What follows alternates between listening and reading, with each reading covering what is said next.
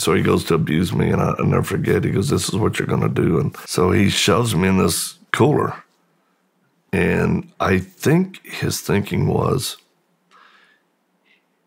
he'll freeze to death, lucid, and I'm trying to talk, and then I'm shaking because of hypothermia, and just, uh, and to this day I can't get any type of cold air on the tips of my ears. I wear my I, man. I'm like I don't care. You were also abused, I believe, by a neighbor, Mm-hmm. if I remember correctly. Yeah. Can you go into that as well? Well, I, I, I do believe that when a kid is compromised on just on a psychological level, predators can tell. Mm-hmm. They, they see the signs, you know, absent father, insecure. Um, and I, for me, I was playing. Um, it, again, it was in Mississippi. I was playing by myself running around the woods. And then I got by the chicken houses, and this neighbor guy comes up and he sees me. And I was making country boys, I get it, it, you know, corn cob, you stick feathers, chicken feathers in it, and you throw it, and whirly birds down. It's a poor kid's toy, and it's uh, never runs out of batteries though. And he he caught me there, and he said, "Come here, I want to show you something." In this building, and, and it was a small building where they had a roof cooler um, and where they'd put chicken stuff and and he pulls me in there and so he goes to abuse me and I, I never forget he goes this is what you're gonna do and and and I just remember like I can't I can't do this anymore. I I'd rather die today. I I don't want to be abused anymore. And um, he wasn't right in the head. You could tell he was like inbred. He, he was because he was an adult child, adult man living with his parents, and and he said, you know, I'll kill you, and I was like, I just don't care at this point. So he actually, How old are you? I was five, Five years old. yeah, yeah, yeah. So he shoves me in this cooler. And I think his thinking was he'll freeze to death. Like a freezer?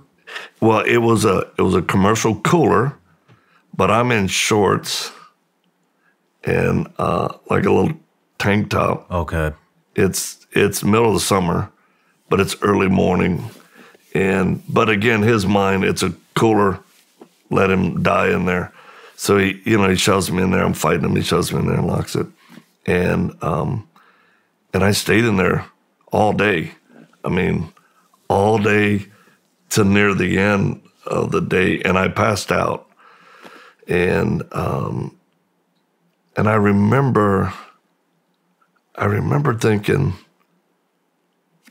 and and I, I really don't say this much, but I do remember there was a figure left of me because I was sitting on these crates, these pallets, a couple of pallets stacked up, and I remember rocking back and forth. I could hear the cooler bl- blowing in, just blowing cold, and it was pitch black.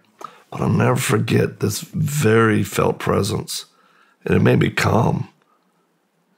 And I remember thinking, well, I guess I'm gonna die today. And I, I, I passed out. And I think it was an angel because I do believe angels can manifest themselves who they're called to protect or and um but I'll never forget I felt peace. I felt peace. Anger, terror, all that, but the last stage was just I was like, wow, someone okay. And then I woke up to being carried back. They were running to the house. Um, and, and I was, they, they were, uh, they were shaking me and, and they actually were screaming at me, saying, why did you get in there? You're never supposed to go in there. Why would you?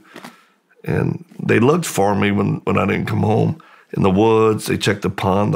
They thought maybe I was bit by a snake. Um, and then they found that little toy, that little, and then they went into the thing, and thank God they opened up uh, the the cooler because they saw somebody had locked it, and thank God they did. So they ran me up and wrapped me in a towel. It took me a while to become lucid, and I'm trying to talk, and then I'm shaking because I have hypothermia, and just, uh, and to this day I can't get any type of cold air on the tips of my ears. I wear my I, man. I'm like I don't care, you know. Um, but I remember them yelling at me, going, "What are you doing? Why?" And I told them I didn't. He, I told him, and my family, and this is what's bizarre. You know, just a handful of guys went to his house. It was right there. Kicked in the screen door. The the dad was real skinny. The mother was super heavy, um, like a bad movie, and um, they beat him in his house. They beat the fire out of him, drug him outside. The dad never tried to stop him. Um, then they hooked him. They they hog tied him and hooked him behind a tractor and drug him. They drug him behind my mamma's house. And then they threw a rope over a pecan tree limb and hung him. They tied a noose around his neck, hung him until he passed out, and they cut him down. and They left him there. And um, he didn't die then, but he, he later did die. From that? They, they didn't say it was from that. They said it was from a bad heart. So it was interesting.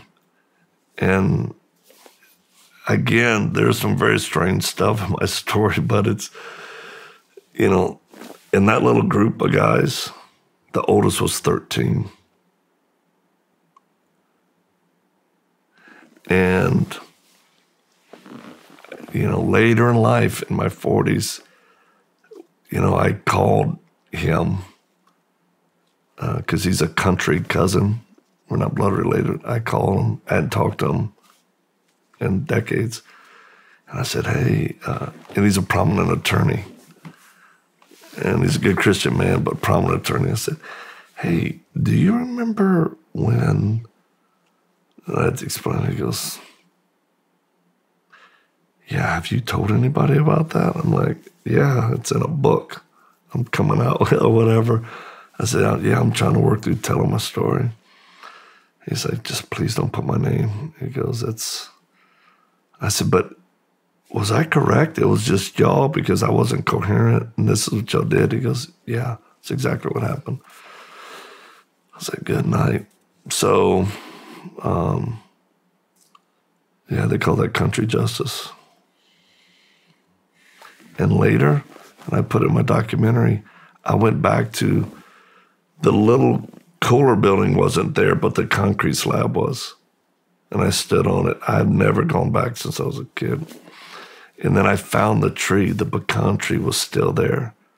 And I remember it had a distinct, we call it a hanging limb. It was still there. I couldn't believe it. They filmed it. I was like, holy smokes, man. What did that feel like? It was terrifying and then freeing. It was terrifying because you you just you remember all the bad things that happened out there. And you still think a monster's going to come out from under a rock or, you, you know, you just, you're just like, dang. But then it was freeing. Um,